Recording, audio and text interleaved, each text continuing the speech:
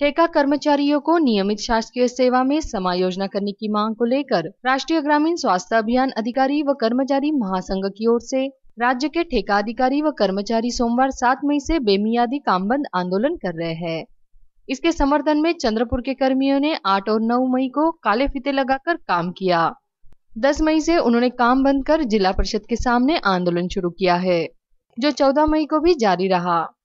इस आंदोलन में ज़िले के एनआरएचएम के अनेक ठेका कर्मी शामिल हुए हैं। स्वास्थ्य विभाग में हज़ारों पद रिक्त है। राज्य में राष्ट्रीय ग्रामीण स्वास्थ्य अभियान के तकरीबन 18,000 ठेका कर्मी है। ये कर्मी कई वर्षों से कार्यरत होकर अनुभवी है। चंद्रपुर में छह सौ कर्मी है। इसलिए ठेका कर्मियों को इन पदों पर समायोजन करे। गत दिनों भी आंदोलन करने के बाद आश्वासन ही दिया गया पर कुछ नहीं हुआ। राज्य भर में अभी आंदोलन शुरू किया गया है।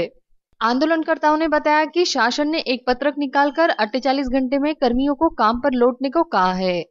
अन्यथा उनकी जगह दूसरे ठेका कर्मियों की भर्ती करने की बात कही गई है। सरकार की इस चेतावनी के बाद काम कर रहे कर्मी भी आंदोलन में शामिल हो गए हैं। राज्य में 8 मई से शुरू काम बंद आंदोलन 16 मई तक चलेगा, जिसके बाद 18 मई से नासिक से मुंबई तक लॉन्ग मार्च निकाला जाएगा। आगामी 24 मई को मुंबई के आजाद मैदान पर बेमियादी धरना आंदोलन शुरू करने की जानकारी इस समय दी गई। माहे एप्रिलपासून आमचं आंदोलन सुरू आहे. आम्ही राष्ट्रीय ग्रामीण आरोग्य अभियानातले सर्व कंत्राटी कर्मचारी संपूर्ण महाराष्ट्रभर अठरा हजार कर्मचारी आम्ही आंदोलनात सहभागी आहोत. आणि गेल्या एप्रिल महिन्यापासून आमचं आंदोलन सुरू आहे. एकवीस तारखेला माननीय आरोग्यमंत्र्यांकडे आमची बैठक झाली आणि त्यांनी जे आश्वासन दिलं त्यानुसार त्यांनी एक राष्ट्रीय ग्रामीण आरोग्य अभियानातील कंत्राटी कर्मचाऱ्यांच्या समायोजनासंदर्भात जी आर काढला. पण त्या जी आरनी आमचं समाधान झालं नाही. तो जी आर संभ्रमात टाकणारा जी आर आहे. त्यामुळे आम्ही आम्ही त्यांना दहा दिवसाचा अल्टिमेट दिला होता की दहा दिवसात जर आमचं जर तुम्ही समायोजन संदर्भात बैठक घेतली नाही किंवा पुढील कारवाई केली नाही तर आम्ही आमचं आंदोलन कंटिन्यू करू. आणि ते आंदोलन आमचं आठ तारखेपासून कंटिन्यू सुरू झालेलं आहे. दहा तारखेपर्यंत पासून आम्ही इथे आंदोलनात बसलेलो आहोत. दोन दिवस आम्हाला परमिशन नसल्यामुळे.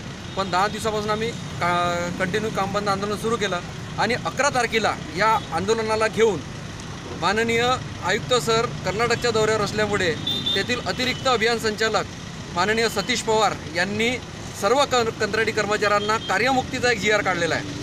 अट अठ्ठेचाळीस तासाचा त्यांनी अल्टिमेट दिला की अठ्ठेचाळीस तासात तुम्ही रुजू व्हा अन्यथा तुम्हाला कामावरून कमी करण्यात येईल व नवीन पदभरती करण्याचे माननीय मुख्य कार्यकारी अधिकारी यांना त्यांनी आदेश दिलेले आहे. परंतु त्या आदेशाला न जुमानता संपूर्ण महाराष्ट्रातील कंत्राटी कर्मचारी आज अठ्ठेचाळीस तासाची मुदत सकाळी संपली तरीसुद्धा या पेंडालमध्ये आम्ही कामबंद आंदोलन आम्ही कंटिन्यू केलेलं आहे. जोपर्यंत आम्हाला कायम करत नाही तोपर्यंत आम्ही इथून हटणार नाही.